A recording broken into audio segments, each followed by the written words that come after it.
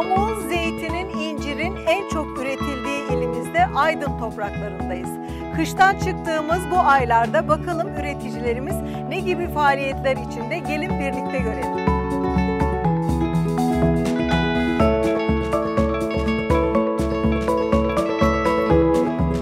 İncir e, ticareti stratejik bir ürün olduğu için dış ticareti e, çok ön planda incir. Değerli bir ürün. Ülkemiz ve dünya incirinde e, ülkemiz de ön planda zaten. Elimizdeki çeliğimiz 15 santim uzunluğunda bir incir çeliği. Torbalarımız 4,5-5 litre ebatlarında plastik polietilen torbalar. Karıştırdığımız materyalimizi torbamıza aktardıktan sonra dikimimiz O şekilde. Meyve cipsleri son dönemlerde sağlıklı atıştırmalık olarak hayatımıza çok sık girmeye başladılar. Normalde sarılıp inciri ya da divrek kara ya da tüm incirler geleneksel üretimde dalda böyle biraz Kururlar, gruplaşır, kurur, yere düşer. Yerden hasat edilip kurtulur.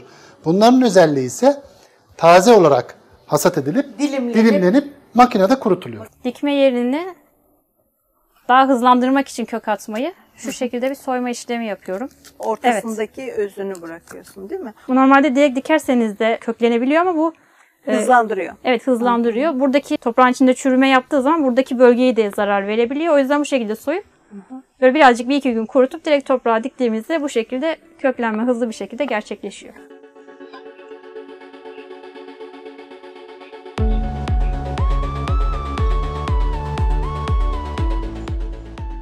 Türkiye'nin en çok incir üretilen ilinde Aydın'dayız. Aydın İncir Araştırma Enstitüsü Müdürü Doktor Birgül Ertan'la görüşeceğiz. Birgül Hanım, bu kadar inciri ne yapıyorsunuz? Nasıl yetiştiriyorsunuz Aydın'da? 1938 yılında kurulmuş bu bölgedeki üreticilerin sorunlarını e, çözmek amacıyla araştırma yapmak üzere kurulmuş eski bir enstitüyüz. İncir yetiştiriciliği, muhafazası, hasatı, hasat sonrası e, ve e, depolama gibi yani tarladan, bahçeden sofraya kadar her aşamasıyla ilgili araştırmalar yapıyoruz enstitümüzde. Tarlada üretilen incirin sağlıklı üretilip bizim sofralarımıza sağlıklı gelebilmesi için hangi koşullardan saklanması gerekiyor? Bunu araştırıyorsunuz. Evet, enstitü olarak zaten bahçede olan incir ağacının ilk aşamasından yani yetiştiriciliğin ilk aşamasından sonuna kadar üreticiye ve tüketiciye ulaşıncaya kadar olan dönemde ki sorunlar, sorunları masaya yatırıp araştırmalar yapıyoruz. Bu anlamda incir çok şanslı bir ürün. Çünkü pestisit, kimyasal kullanımı e, daha az diğer meyve türlerine göre ve incir e, ticareti stratejik bir ürün olduğu için dış ticareti e, çok ön planda incir. Değerli bir ürün. Ülkemiz ve dünya incirinde e, ülkemizde ön planda zaten. Birgül Hanım, kaç çeşit incir üretimi yapılıyor Aydın'da? Ticari değeri olan kurutmalık çeşidimiz sarılo. Zaten bu bölgede yetiştirilen özel aydın inciri ve özel iklim koşullarına sahip aydın bölgesi.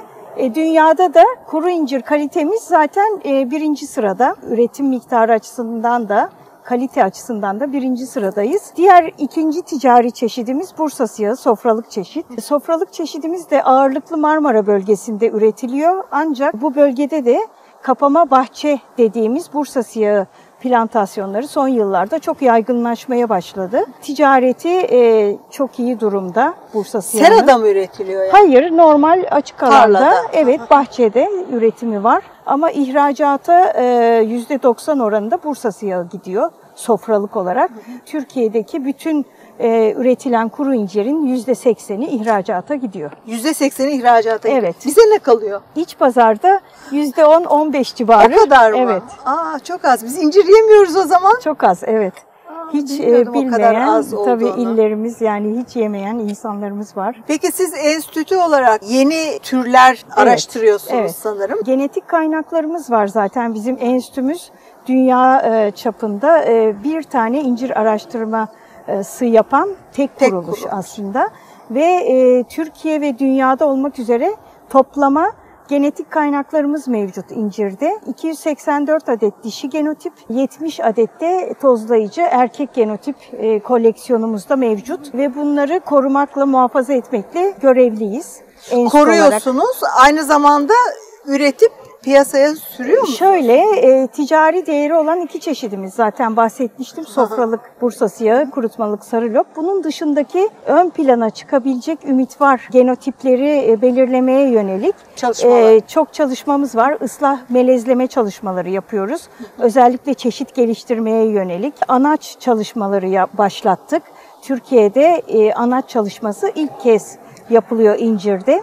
Nasıl oluyor anaç çalışması? Şöyle e, incir aşıyla üretilen bir tür değil. Genelde vejetatif dediğimiz çelikle üretiliyor. Aşı sadece çeşit değiştirmek amaçlı yapılıyor e, incirde. Toprak kökenli e, hastalıklar, zararlılar için biz anaç seleksiyonu yapıyoruz. O da toprak kökenli çürüklüklere, mantari bulaşıklıklara dayanıklı olabilecek yabani formları, farklı fikus türlerini araştırıyoruz. Belki ileriki yıllarda daha çok önümüze problem haline gelebilecek toprak kökenli Hastalıklara Hastalıklar karşı olabilecek. dayanıklı e, Evet. türler bulmaya çalışıyorsunuz. Çalışıyoruz. Onun Evet. üzerinde çalışmalarınızı yürütüyorsunuz. Aydın toprakları incir üretimine çok müsait herhalde. Ağır toprağı mı seviyor incir? İncir killi e, toprakları, humuslu toprakları seviyor. Ağır toprakları çok sevmiyor.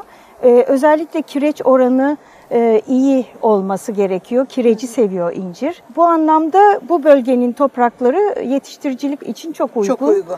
E, sadece toprak değil, iklim özellikle kuru incir için çok uygun. Özel Nasıl bir mikroklima istiyor incir? 18-20 derece ortalama sıcaklık isteyen bir tür. Özellikle kurutma dönemi olan Ağustos ortasında kurutulacak inciri e, daha iyi kurusun, kalitesini bozmasın diye o dönemde çok güzel denizden esen nemli rüzgarlar ve karadan esen e, poyraz sıcak rüzgarlar var kuru.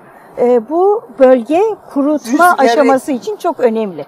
Ege Uygun. Denizinin meltemleriyle Evet, meltem nemli rüzgarlarla sıcak karadan esen sıcak Birleşiyor e, rüzgarlar kurutma dönemi için gerçekten çok uygun bir ortam sağlıyor. ağaçların yanına gidelim mi? Tabii ki. Birgül Hanım şimdi ağacın yanına geldik. Bir incir ağacı ve bir bahçe. Bu bahçe sizin enstitüye mi ait? Evet, enstitüye ait çalışma parselimiz, araştırma yapabileceğimiz farklı çeşitler olan deneme parseli. Deneme parseli. Kaç dönüm burası? Bayağı var değil mi? Bizim burası 164 dönüm bu merkez yerleşkemiz. Ama iki tane ayrı lokasyonumuz daha var. Biri 125 dekar, birisi de 30 dekar. Toplam 325 dekar alanımız var. Bunlar şimdi sarı lop mu oluyor? Bu karışık bir parsel ön plana çıkabilecek ümit var dediğimiz sofralık, kurutmalık çeşitlerimizi diktiğimiz bir parsel. Burada araştırma denemeleri yapıyoruz. Ölçümler yapıyoruz. Kalite analizlerine örnek topluyoruz bu ağaçlardan. Bir şey merak ediyorum. Hani e, Nazilli bölgesinde dağlarda, dağ yamaçlarında fındık gibi dik yerlerde incirler var. O incirlerle bu incirlerin arasında ne fark var? Şimdi e, Sarılop 83 yılından sonra zaten dağlık alanlara yerleşmiş durumda. Özellikle kuru incir. Bursa siyahı da yamaç arazilerde e, olmaya Oluyor mu? başladı plantasyonlar. Yamaç e, arazilerde meyve kalitesi daha iyi durumda.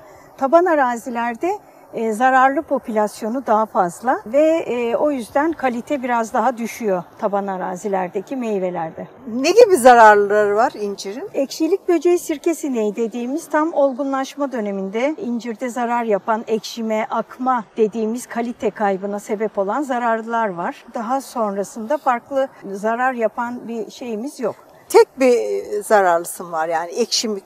Yok tek demeyelim şöyle depo kurtları var kuru incir depolandığında. O tür e, zararlı dışında çok yok. Kimyasal e, ilaçlama da o yüzden fazla değil zaten incirde. Pestisit kalıntısı da o yüzden çok yok. Rastlanmıyor. Rastlanmıyor evet.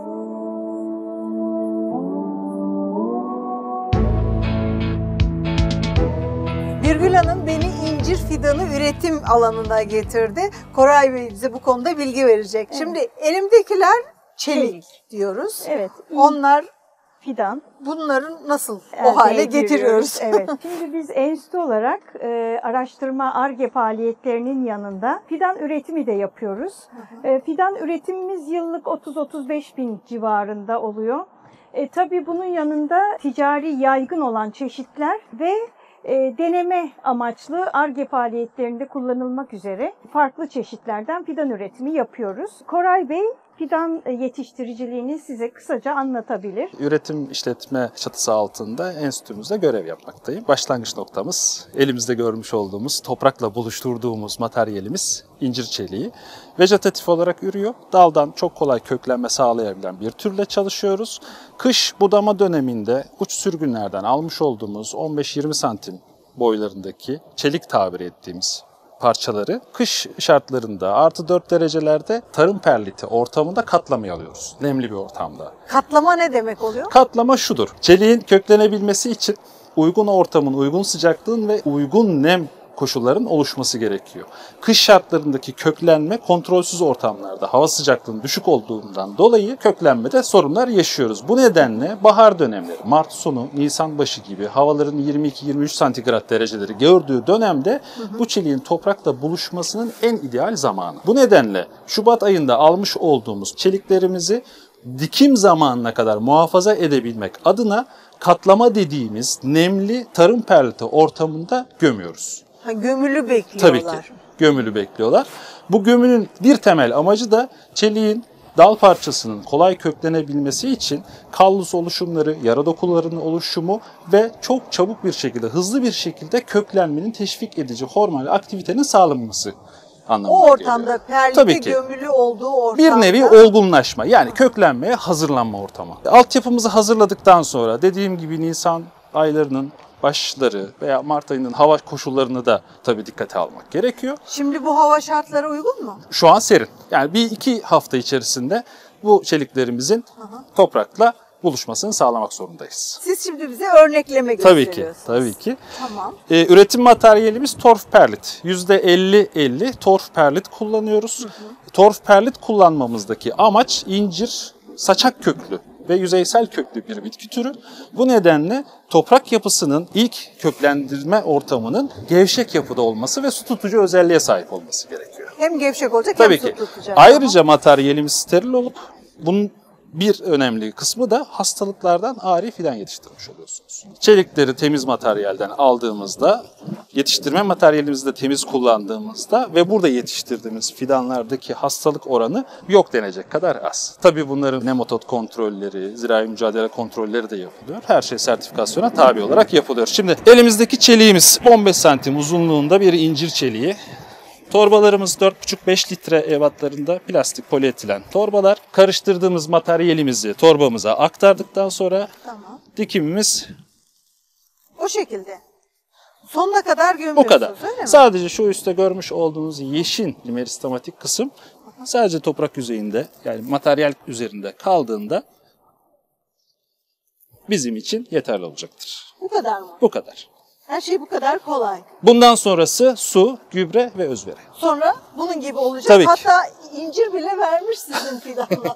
Evet. Onları bırakacak mıyız? Yani meyveye dönüşecek mi? Hayır onlar dökülecekler. Döllenmeye biyolojisi çok farklı bir olay. Onun için ilek lazım. Tabii ki. Bütün incirler böyle e, verir sonra mı dökülür? Dönemsel olarak görülen meyveler her zaman sürgün koltuklarında çıkan fizyolojik bir olaydır. Döllenme olmazsa meyve tutumu söz konusu değildir incirde. Özellikle ticari değeri olan iki çeşidimizde döllenme istiyor. İstiyorum. Onun için hep bir erkek incir, İncir bahçede. gerekli. Bir tane yetiyor mu? Birkaç tane var. Bahçede bulundurmak şeklinde değil de erkek ağacın üzerinden meyveyi hasat edip dişi ağaçların üzerine asmak Asma şekli şekli, doğru olan. Evet. Ama bahçede de olacak ki onu alacağız. Tabii ki. Yani bir yerde bulunacağız veya pazardan temin edeceğiz. Yani bir şekilde temin genelde edilmesi gerekiyor. üreticiye farklı bir alanda, farklı bir arazide erkek tozlayıcı çeşit dikimi gerçekleştirsin diye öneride bulunuyoruz. Onun avantajı ne oluyor? Dişi ağaçlardan uzak olması kaliteyi de etkiliyor. Yani oradan alınıp bahçeye belirli miktarlarda getirilmesi ve işlemin yapılması gerekiyor. Üremeyi kontrol altına Evet, alıyorsunuz. tozlaşmayı, Belli bir aynen. tozlaşmayı kontrol altına Hı hı, alıyorsunuz. kesinlikle. Belli bir dönemde, belli bir yoğunlukta tozlaşma sağlanıyor. İşi bitince alıyorsunuz. Onlar kaldırılıyor ve imha ediliyor. Hastalık bulaşıklığı olmasın diye. Şunlar beyazlar perlit mi Evet oluyor? perlit kalıntısı e, katlama ortamından çıkarılıp Getirildiğinde tabii bunlar yıkamaya tabi tutuluyor. Koray Bey, şimdi biz ektik ya böyle çubuklarımızı. Ne kadar sürede kök salacak? İklim şartlarına bağlı olarak gündüz sıcaklıklarının ortalama 15-16'larda olduğu dönemde yaklaşık 10 gün içerisinde kökçükler salmaya ve ilk yapraklar görünmeye başlar. Bu hale ne zaman geliyor? Bu hale yaklaşık 8 ay sonra gelecek. Ektiğimiz bir fidan ne kadar sonra meyve verir? Yani yenilecek meyve alabiliriz ondan. Şimdi çeşitler çok farklı. Öyle mi? kullanmış olduğumuz çeşitin cinsine bağlı olarak bu rakamlar değişiyor. Örnek veriyorum Bursa siyahı tabir ettiğimiz piyasanın revaçta olan çeşitlerinde ilk yıl ve ikinci yıl hemen meyve almak mümkün olabiliyor. Sarılopta Sarılop'ta da çok yakın. Ama bazı çeşitlerimiz var. Yeşil güz gibi daha sofralık çeşitlerimiz var. Onlar 3. 4. yaşlarda. Çeşit farklılığı bunu Meyve tutumunu değiştiriyor. değiştiriyor. değiştiriyor. o yüzden sarılop ve Bursa siyahı daha çok üretiliyor. Talep Ticari daha- olarak talebi çok yoğun olduğu için. Şu an bizim parselimizde bu seneki örneğin planlamamızda 18 tane dişi genotip ve çeşidimiz, 12 tane de erkek çeşit genotipimiz var. Enstitü olarak amacımız fidan üretip satmak, para kazanmak değil. Değil. İsmine doğru, sağlıklı ve ticarete konu olabilecek çeşitleri tanıtılması ve demonstrasyonların oluşturulması. Bizim hedefimiz bu. Bir şey sormak istiyorum. Şu mevsim incir budamanın bittiği bir Artık zaman bitti mı? mevsim. Ocak, Şubat aylarında mı incir budama yapılıyor? kış soğuklarının yoğunluğunun azaldığı ve yüksek olduğu, düşük olduğu bölgeler de var. Aydın ilinde de. İncir yaklaşık 60 rakımlardan 1000 rakımlara kadar varlığını devam ettiriyor. Şimdi 1000 rakımlı bir yerde erken bir budama yapmak demek soğuk zararına karşı savunmasız bırakmak demek ağacı. Bulunduğu Konuma konuma göre. göre zaten üreticilerimiz bu konuda çok bilinçliler. Bahçenin konumu, yöneyi, her şeyi bizim budama zamanımızı belirliyor. Belirliyor. Ova kesimi dediğimiz düz arazilerde bu mevsim artık budamanın Sonu. sonu. Sonu. Ama şu anda hali hazırda 700, 800, 900 rakımlarda incir bahçeleri daha bir ay daha budama yapabilir.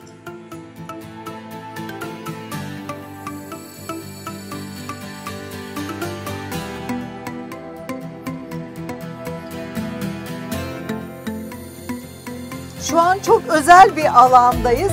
Birgül Hanım bir çalışma yürütüyor.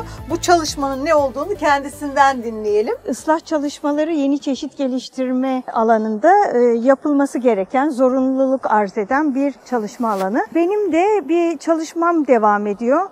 Melezleme ıslahı yöntemiyle Partenokarp incir çeşidi geliştirilmesi. Ne dediniz, ne dediniz? Çekirdeksiz gıda sanayine uygun, erkenci e, ve verimli çeşit geliştirmek amacımız. Melez bireylerimiz, e, melezlemeyi nasıl yaptık?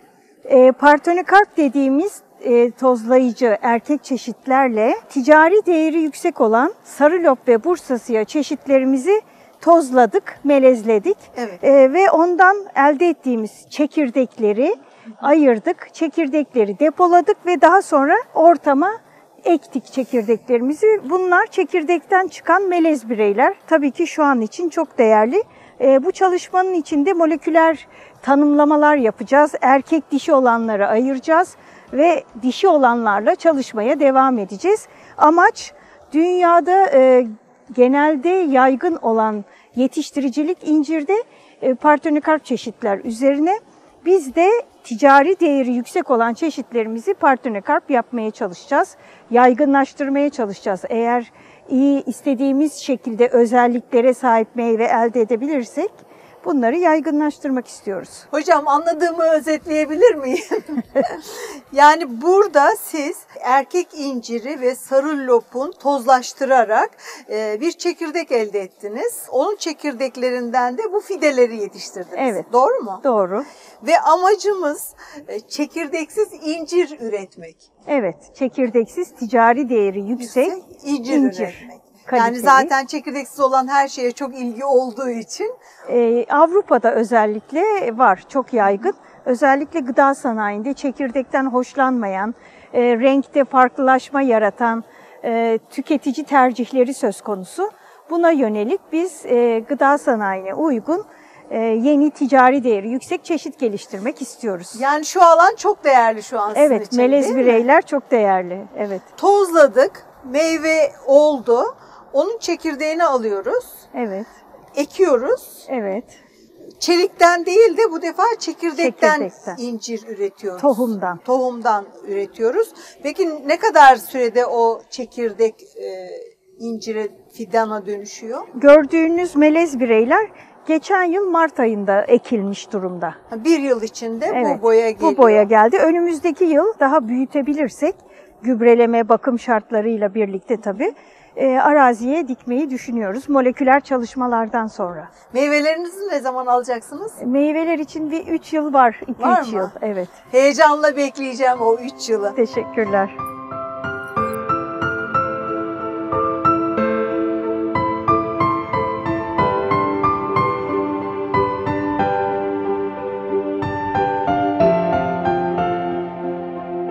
Aydın İncir Araştırma Enstitüsü'nde gezmeye devam ediyoruz. Şimdi bir seraya geldik. Ee, bu sera hakkında bize daha detaylı bilgiyi Mehmet Ali Kargıcak Bey verecek. Mehmet Ali Bey Ziraat Yüksek Mühendisi. Mehmet Ali Bey özelliği nedir bu seranın? Seramız e, 560 metrekare büyüklüğünde. Seramızda e, beyaz orak, Bursa siyah ve morgus çeşitlerimiz var. Beyaz orak çeşitimiz erkenci bir çeşit. Biz bu e, çeşitimizi daha erken acaba üretebilir miyiz diye sera içerisine aldık. Aynı zamanda Bursa siyah çeşitimiz var. Bu çeşitimiz de ihracatta çok önemli bir çeşitimiz. Sofralık en çok üretim yapılan çeşitimiz. Bunu da daha erken ihracata gönderebilmek, daha erken piyasaya sürebilmek amacıyla seraya aldık. Aynı zamanda morgus çeşitimiz var. Bu da geçici bir çeşitimiz. Bunu da daha geç piyasaya sürebilirsek daha uzun süre piyasada incir meyvesi e, bulundurmayı e, hedefledik. Kışında incir olsun dediniz Dedik. yani evet. öyle Hem mi? erkencilik hem geççilik hedeflendi projemizde. Erken e, hasat edilsin, piyasaya erken Sürülsün. süzülsün, sonra da uzun süre devam Evet. etsin diye. Morgüs, Morgus ve geç çeşitimiz. Geç bir de beyaz orak ve Bursa siyah çeşitlerimiz var. beyaz orak ne oluyor? Erkenci çeşitimiz Erkenci. o da. Biri geççi, biri erkenci. evet. Bursa siyahını Bursa siyahımızda en fazla üretim yapılan sofralık çeşitimiz incirde. Şimdi böyle baktığımız zaman ağaçlardan anlayabiliyor muyuz hangisi Bursa siyahı, hangisi morgüs? Bunlarda dışta baktığınız zaman Anlaşılıyor e, direkt mu? spesifik bir e, fark gözlemek zor. Daha çok meyveye doğru. Artık meyveden anlıyoruz. Meyve olmaya Evet. başlayınca ya da yapraklarından Yapraklarından olur mu? anlaşılır. Anlaşılıyor. Evet, yapraklarından anlaşılır. Bazı çeşitlerimiz var. Gövdede de bazı boğumlu yapılardan dolayı çeşitler ayırt edilebiliyor. Fakat bu sera içerisindeki çeşitlerimizi ayırt etmemiz biraz daha zor. Burası bu yeni budanmış galiba değil Evet. mi? E, budandığı zaman bir şey sürmek gerekiyor mu incire? Evet, aşı macunu sürüyoruz budadıktan sonra. Öyle mi? Hı hı. Aha. Nedir o aşı macunu? Özel bir şey. Yani tabii piyasada bulunan bir malzeme. Yani bunun su kaybını önlemek için Bu sera sadece erkenci ve geçici çeşitleri Evet. üretmek amacıyla oluşturulmuş bir Evet. sera. Bakımda bir özellik var mı? Yani bizim buradaki hedefimiz üretici bahçelerini örtü altına alınırsa nasıl bir yol izler diye. Yani o yüzden de bizim daha farklı bir şu anda budama metodumuz yok burada. Burası bir deney alanı Evet, yani, bir Ar-Ge laboratuvar alanı, değil alanı, mi? evet. Ne bekliyorsunuz peki? Umudunuz nedir? Ee, devam eden bir proje. Ee, sonuçlara bakıyoruz. İnşallah erkencilik elde edeceğimizi düşünüyoruz, hedefliyoruz. Kaç yıldır bu var? Bu 5. yılı. Beşinci yıldasınız. Sonuca varmadınız mı? şimdi? Bu sene inşallah netleştireceğiz. Değil mi? Ne kadar zor oluyor Evet. sonuca varmak. Zaman Bazen istiyor. 5, 10, 15 yılı bile Evet, alabiliyor. evet. Islah çalışmalarında daha uzun. 15-20. Peki çok teşekkür ederim. Ben teşekkür Kolay ederim. gelsin. Ayaklarınıza sağlık.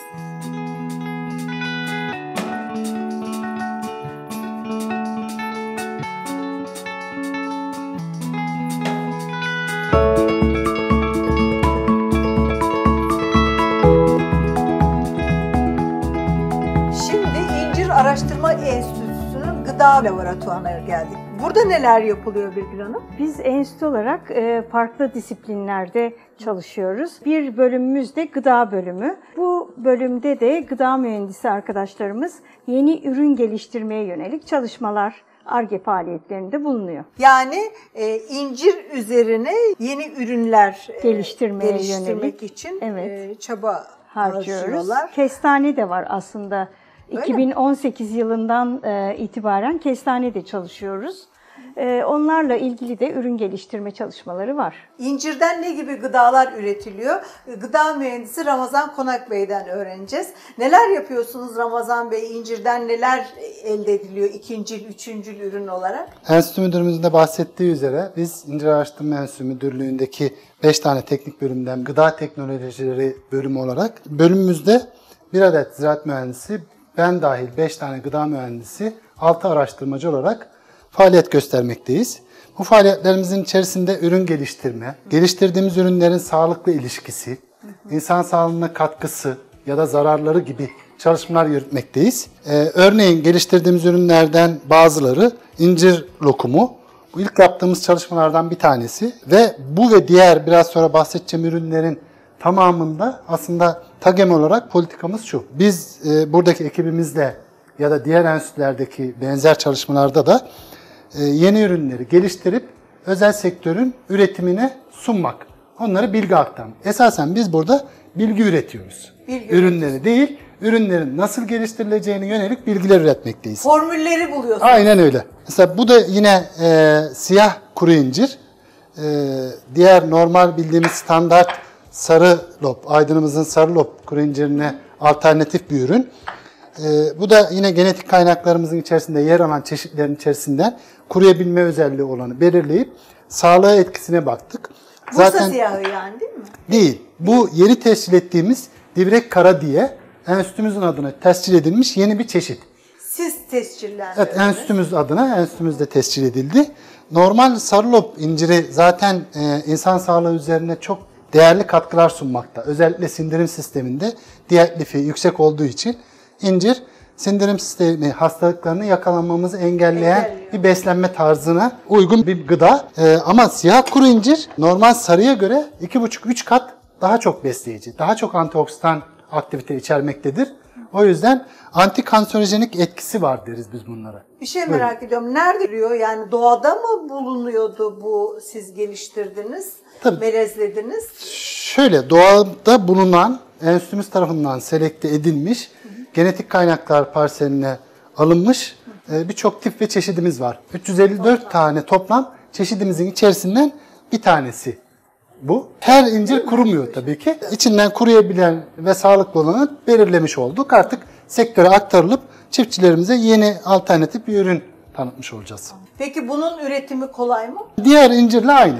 Yani normal sarılıp incirin yetişebildiği her türlü ekolojide yetişebilmekte. Şimdi burada e, beyaz incir, sarılop İncirimizin normal geleneksel olarak üretilmiş hali buydu. Bu Bursa siyahından üretilmiş, bu sarıloptan üretilmiş.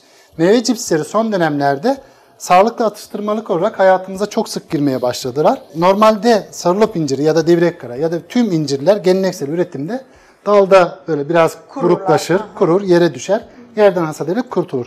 Bunların özelliği ise taze olarak hasat edilip Dilimlenip- dilimlenip makinede kurutuluyor. Bu kadar ürünün arasında beni en çok şaşırtan iki şey oldu. Onları hemen alacağım. Bunlardan birisi incir suyu, suyu ve diğeri konserve. de konservesi. İncir suyu nasıl yapılıyor?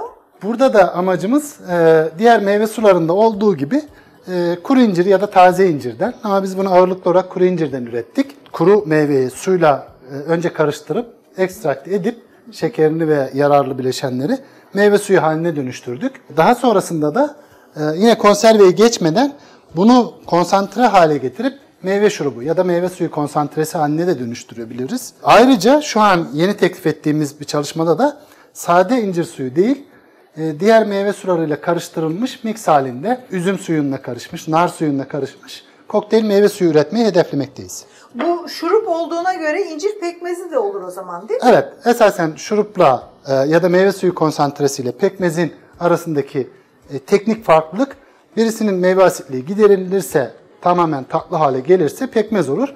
Getirilmez de doğal asitliği içinde kalırsa şurup ya da konsantre diye adlandırabiliriz. O kaynama derecesiyle mi alakalı? Kaynama dereceleri aynı ama e, ilk başta asitliğini çöktürmek için bir işleme tabi tutarsak asitler giderilir. Sadece şekerli kısmı kalırsa e, pekmez olur. Peki o asiti çöktürme bu pekmeze konulan hani Beyaz pekmez toprak. toprağı mı oluyor? Evet, pekmez toprağının amacı odur. Yani, Yani biz pekmez toprağı koymazsak şurup oluyor, koyarsak pekmez, Pekmez oluyor. oluyor. Teşekkür ederim bunu bana öğrettiğiniz. Evet, meyve konservesi de yine e, yani tüm meyve sebzelerde uygulanan konserve tekniği aslında. Ama bu projenin özelliği de şuydu. Diğer meyvelerden de geleneksel öğrendiğimiz şeklinde konserve elbette yapabiliriz. Ama özgünlüğü şu ki bir tarz uygulamada şunu denedik. İçine hiç şeker koymadan sadece suyla muhafaza etmek biraz zordur meyveleri. Biz onu muhafaza etmek için çalışmalar yaptık ve muhafaza edebildik. Amaç neydi? Sonradan şeker eklemeyelim. Şeker hastası olanlar ya da şekere karşı toleransı olan kişiler bunu kullansın gibisinde. Tabii ki tadı daha düşük. E, Birinci uygulama oydu. Başka bir uygulamada ise yine e, burada meyve suyunu elde etmiştik ya burada. meyve şurubunu. evet, hı hı. Hiç şeker kullanmadan incir şurubunu sulandırıp ya da meyve suyu haline getirip incir suyunu şeker yerine dolgu sıvısı olarak kullandık. Konservede. Konservede. Yani dışarıdan hiçbir şekilde şeker kullanmadan incir ve incir suyuna suyunu tatlandırma işlemi gerçekleştirmiş olduk. Şimdi bunda incir suyu ve e, İncir var. incir var. Bunda incir ve Sadece su, şekersiz. sadece su var. Zaten hiçbirinde de dışarıdan bir katkı yok. Katkı yok. Ya katkı yaparak tabii ki şekerde yani doğal olmak kaydıyla pancar şekeri olması kaydıyla ya da şeker kamışı şekeri olması kaydıyla çok da e, hani gıda olarak kullandığımız bir şey. Çok da tedirgin olmamız gerekmez ama gerektiği kadar kullanırsak ancak bazı hastalıklarda ya da özel beslenme durumlarında onlardan da uzaklaşmak gerekiyor. O amaçla sadece su kullanmak ya da doğal incir suyu kullanmak bir alternatif oldu. Bu test konusu mu? Bu çalışmaların hepsi teze bağlı değil. Ancak tam da isabet ettiniz. Sadece konserve Teze evet bağlı. bir arkadaşımızın doktora projesiydi aynı zamanda. Doktora Hem projesi. TAGEM'de yürütülen bir proje olmasına rağmen diğerlerinin tamamı TAGEM projesi aslında. Ve Evet. ilginç bir şey de İncir unu. incir unu. İncir ununun içinde çekirdeği de var herhalde değil mi? Hayır bunu da çekirdeğini ayırdık. Öyle Çünkü çekirdek içinde kalırsa yağ kaynaklı acılaşma problemi yaşayabiliriz muhafaza edilirken. Çekirdeğini ayırıp onu da ayrı bir çalışmada kullandık. Onu da biraz sonra anlatayım. İncir ununun özelliği şu. e, meyve suyu ya da meyve şurubu ya da pekmez gibi ürünleri ürettikten sonra kalan posayı değerlendirmek adına incir unu haline getirdik. Ha, onlardan kalan Kalan posalardan posa. un yapıyorsunuz. Evet. Peki incir ununu nerelerde kullanabiliyoruz? Evet, incir ununun kullanım amacı ya da özelliği şu. Glutene karşı toleransı olan hastalarımızın kullanabileceği bir ürün. Ee, içerisinde gluten içermemekte. Ee, çölyak hastaları için e, kullanılabilir. Özelliği şu ki e, ayrıca şeker içeriği de zaten meyve suyu ya da pekmez üretilirken alındığı için, Alındığı için. şeker oranı düşük, lifçe zengin. e, yani çözülebilir şeker oranı düşük. E, diğer liflerce zengin bir besin kaynağı. E, hem sağlık açısından e, sindirimi kolaylaştıran hem de e, çölyak hastalarının da kullanabileceği bir ürün. Kek, pasta, börek, unlu mamuller gibi her türlü üründe kullanılabilmekte. Kalan çekirdeklerin son dönemde e, yağını çıkartılarak çekirdek yağı şeklinde sektörde bir yer aldığını gördük. Ve e, bunun sadece hani yağ olarak kullanıldığı zaman ne özelliği olduğunu bilmemek ya da diğer yağlarla e, kıyaslamak gerekiyordu. Biz de öncelikli olarak bir çalışmayla yağın içerisinde neler var onu bir inceledik. Devamında bu içerikle neler yapabiliriz konusunda da şu an yürüyen bir çalışmamız var mesela tıp fakültesiyle ortak. Oradaki doktor arkadaşlarımız dediler ki bu çekirdek yağı o kadar kıymetli ki içerisindeki bir maddenin e, kadınlarda yumurtalık hasarını tamir edebileceğine yönelik bir takım e, belirtiler var. Bu belirtileri giderip acaba yumurtalık hasarını gidererek kısırlığı engelleyebilir miyiz ya da tedavisine bir katkımız olur mu gibisinde bir proje başlattık. Şu anda incir çekirdeği yağını ayırdık ve laboratuvar farelerinde üreme sistemleri üzerine bir deneme yapıyoruz. Bir projemiz var. Sonuçlanırsa ya da olumlu sonuçlanırsa inşallah ülke tarımına da ya da sağlığa da katkısı olur. Daha çok sağlığa olacak. Zaten incir üretiliyor. Aynen, aynen. Biz incirle e, ilgili bu, bu kadar ürünü ya da şu an devam eden ürünlerden bahsetmişken en sonunda şu uyarıyı ya da şu açıklamayı yapmaya kendimi bir teknik eleman olarak sorumlu hissediyorum. Mesela bunlar da deney tüplerinin içerisinde çalıştığımız bu e, ürünlerin hemen hemen birçoğunun ekstrakları. Bunları alıp ekstrakt edip bu etrafında gördüğümüz laboratuvar cihazlarını analiz edip içerisinde ne var, sağlığa yararlı mı, zararlı mı, ne kadar tüketmek gerekiyor gibi ortaya koyuyoruz. En nihayetinde bu tarz ürünlerin tamamında da şundan bahsetmek gerekir. Bunlar ilaç değildir ve e, ilaç yerine kullanılabilecek ürünler değildir. Değildir. Hepsi de doğal olarak sürekli beslenmemizde yer alması gereken ürünler olup mesela kansere karşı etkisi olduğunu söyledik. Antikanserojen etkilidir ama kanser olduktan sonra bundan kilolarca yiyerek iyileşmek değil tabii ki. Sürekli tüketerek kanser olmayı engelleyebileceğinize yönelik veriler var elimizde. Gıdanız şifanız olsun diyoruz. Aynen zaman, öyle. Değil mi? Teşekkür ederiz. Evet burada Aydın İncir Araştırma Enstitüsü'nde topraktan sofranıza sağlıklı gelebilecek gıdalar üzerine çok ciddi üretim çalışmaları yapılıyor. Ee, siz de bilgilenmek ya da bu ürünlerden üretmek isterseniz araştırınız.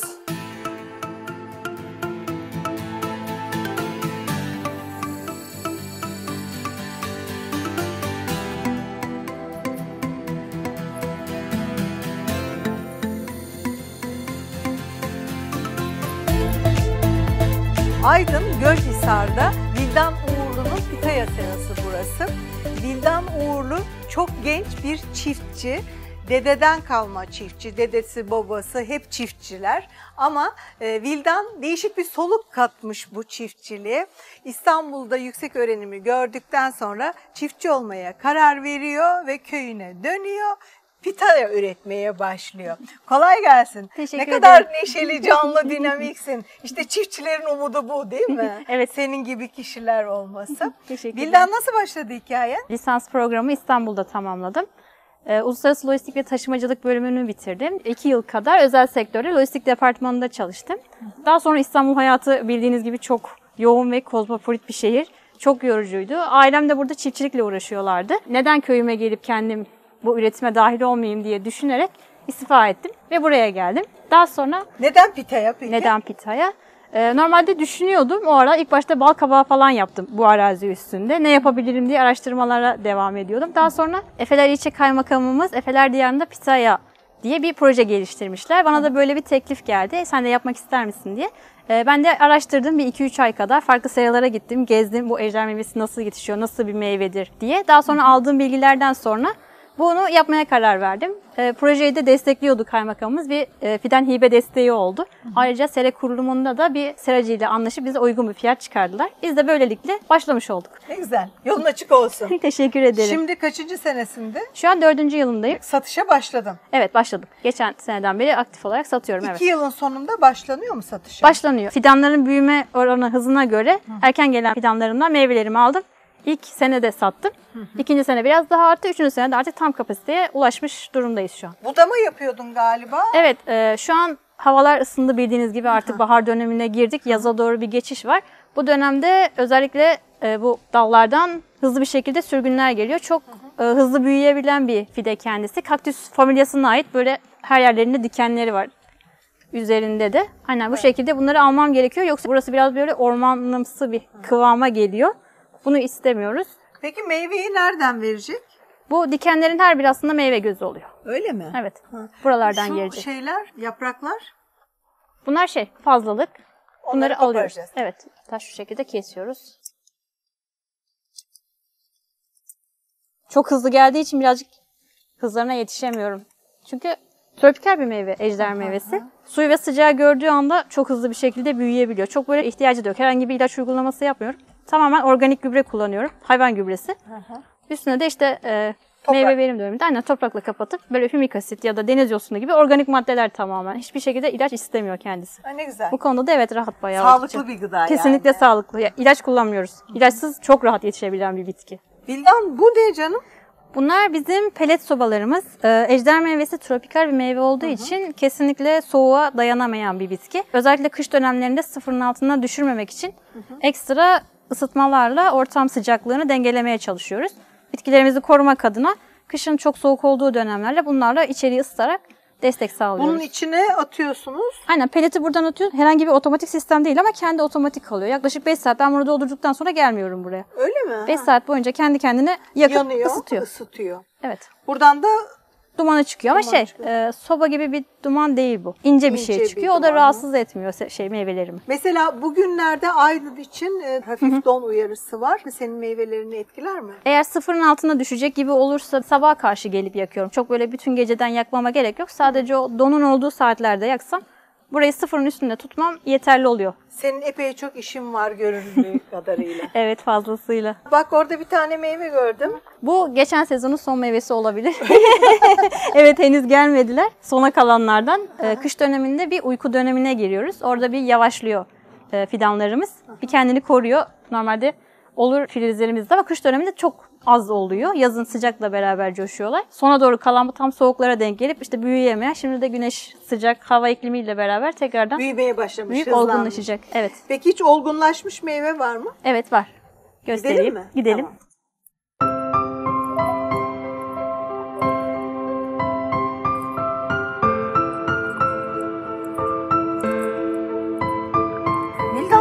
Kısımları yukarıdan daha ince değil mi? Hı hı. Ama genel olarak normalde aynı. Sadece bir desteklememiz var şu şekilde. Kargılarla destekliyoruz çünkü bunlar sarmaşık bitkisi. Eğer desteklemezsek aşağı doğru yıkılabilir ve bükülebilir. Böylece dalları kırılabilir. Bu da istemediğimiz bu durum. Toplaması zor olur. Toplaması da değil zor mi? olur. Evet ve çok karışık bir durum olur aşağı tarafta. Şu an çok düzgünler. Sadece dikkatimi çeken altlar çok ince. Evet. Bak mesela şurası alttan daha kalın.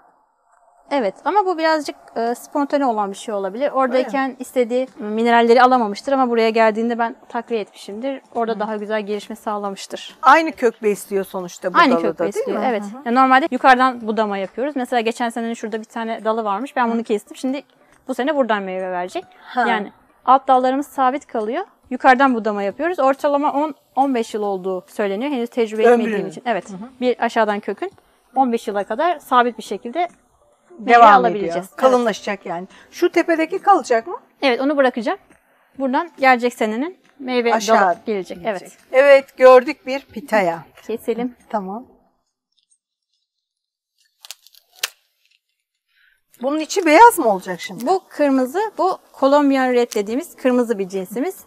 Normalde yazın olmuyor. Bu kışa kalan bir e, cinsimiz. Diğerleri şu an yok. O yüzden sadece bu var. Bu da yeni şu an size şansınıza kalanlardan. Evet, Burada da var. Şu an bunlar da bitti. Son meyvelerimiz. Bu Son sezonun. meyveleri de kestik. evet size ettik. nasip oldu diyelim. İçini açarken e, nasıl tüketildiğini, senin nasıl tüketmeyi sevdiğini öğrenelim istersen bu arada. Tabii ki. Dışı sert, içi yumuşak bir meyve. Şu şekilde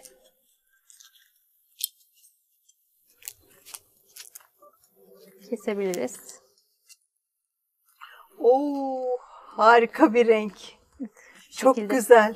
Vildan, onu dilimlerken tabağımıza e, sağlığımız için ne gibi faydaları var pitayanın anlatabilir misin bize? Tabii ki bahsedeyim. İçinde yüksek oranda şöyle gördüğünüz gibi çok sulu hatta şu an suları damlıyor. Çok büyük bir su oranı var. Bu vücudumuzun üçte birinin su olduğunu düşünürsek çok faydalı. Ee, ayrıca A vitamini, B vitaminleri ve C vitamini bakımından çok zengin. B grubu B vitaminleri grubu var. vitaminleri çok fazla ve içinde potasyum, magnezyum ve kalsiyum bakımından mineralce oldukça zengin. Bu özellikleri sayesinde kolayca soyabiliyoruz. Böyle kabuğu hemen çıkıyor. Olgunlaşmış bir meyvenin. Kolay soyuluyor değil evet mi? çok kolay söylüyor. İçerisinde lif oranı çok yüksek olduğu için bağırsak düzenleyici. Bağırsakları çok güzel düzenliyor. Ee, onun dışında kötü kolesterolü düşürücü, bağışıklığı güçlendirici özellikleri var bu vitamin ve mineraller sayesinde. Ayrıca şeker hastalarına çok iyi geliyor. Şekeri dengeleyici özelliği var. Şeker hastaları e, özellikle içi beyaz olanı çok rahatlıkla tüketebilirler. Hem e, besin ve mineralleri almış olurlar hem de sağlıklı bir meyve tüketmiş olurlar. Şeker hastalığına herhangi bir zararı olmadan. Bu şekilde. Evet genç üretici Vildan Uğurlu'dan pitayanın faydalarını dinledik. Diyoruz ki gıdanız şifanız, olsun.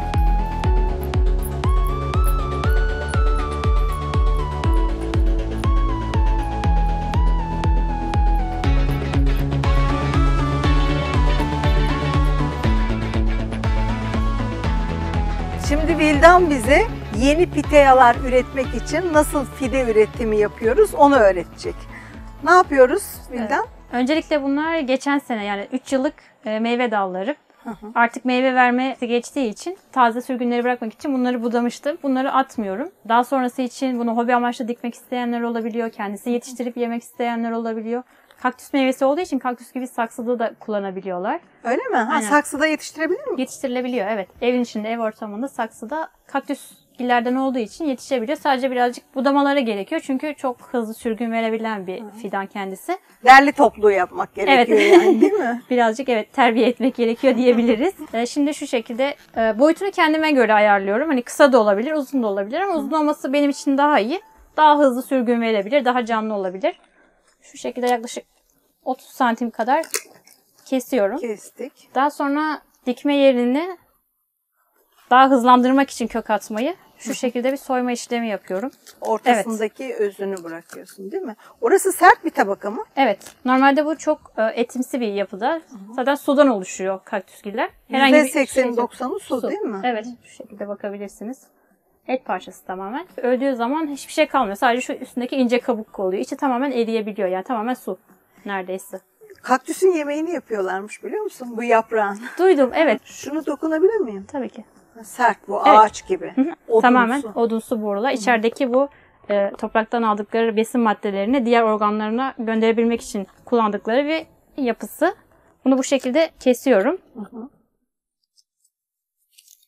Bu şekilde yap. Normalde direkt dikerseniz de köklenebiliyor ama bu e, Hızlandırıyor. Evet hızlandırıyor. Buradaki toprağın içinde çürüme yaptığı zaman buradaki bölgeye de zarar verebiliyor. O yüzden bu şekilde soyup böyle birazcık bir iki gün kurutup direkt toprağa diktiğimizde bu şekilde köklenme hızlı bir şekilde gerçekleşiyor. Ha, önce kurutuyoruz bir iki gün. Evet. Ondan sonra dikiyoruz öyle mi? Evet ya orada bakteriyel ve fungal hastalıklara zemin vermemek açısından birazcık kurutup çünkü biliyorsunuz bakteri ve funguslar e, nemli topraklarda çok hızlı yayılabiliyor ve çok hızlı gelişebiliyorlar.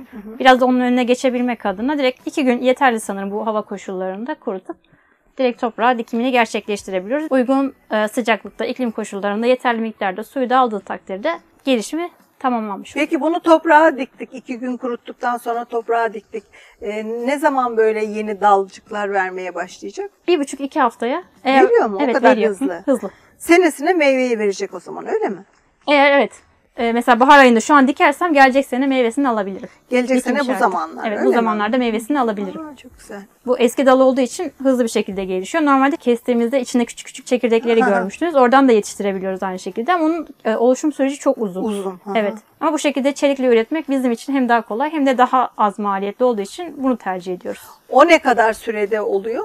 bir seneyi buluyor onun çıkması ve şey e, normalde şu an gördüğünüz e, çelik çok e, sağlıklı bir çelik. O daha ince, daha zayıf oluyor. Mesela onun meyveye oturma zamanı buna oranla daha düşük olacağı Daha kesin. düşük oluyor. Evet. Bu bir dönümlük serada üretim yapıyorsun. Ne kadar ürün alıyorsun? Ortalama 2 tonu geçiyor. Nereye satıyorsun bunu? Müşteriler hazır mı? Bir yerden e, sen mi pazarlıyorsun? Pazara çıkıyorum.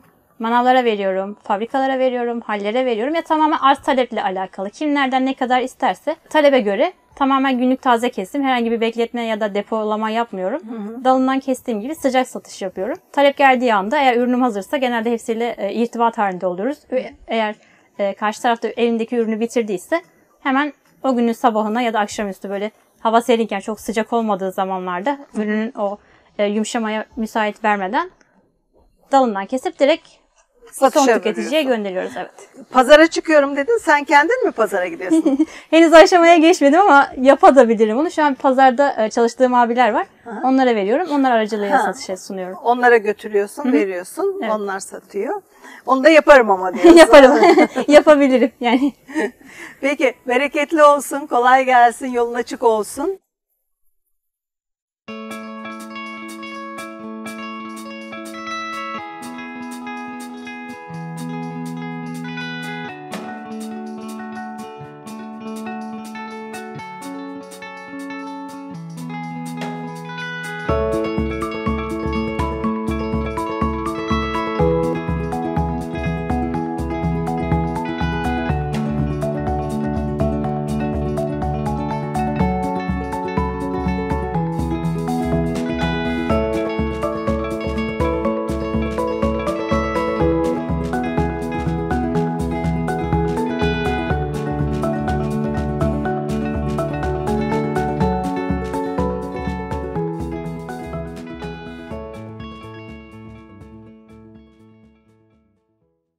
Daha fazla video izlemek için kanalımıza abone olabilir, ilk izleyen olmak isterseniz bildirimleri açabilirsiniz.